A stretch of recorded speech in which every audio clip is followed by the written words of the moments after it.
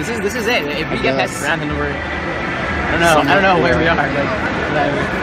Anyways, uh, yeah, I mean, it, it sucked that we lost, and immediately, like, I, me and Matt talked about it last chal- challenge that if we voted out Sherry, which in hindsight is looking like a kind of a weak move because we lost anyways, we would go to a 2 2 no matter what, because none of the other one doesn't want to be the third person, and that's what might happen if one of us goes home. at this point, 50 50, like, I'm like, you tiebreaker.